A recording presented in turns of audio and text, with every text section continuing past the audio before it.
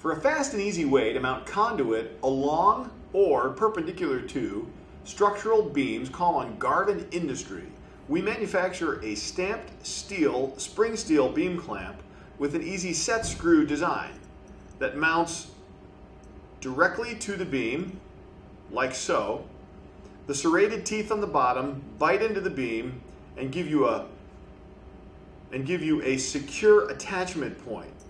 Down below, riveted on, is a spring steel conduit hanger that easily snaps closed that will mount the conduit either in the horizontal position directly below the beam or by turning it and rotating it, you can run across the beam.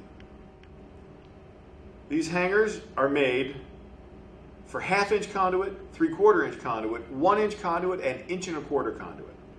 For these and other great products, be sure to visit us online at garvinindustries.com.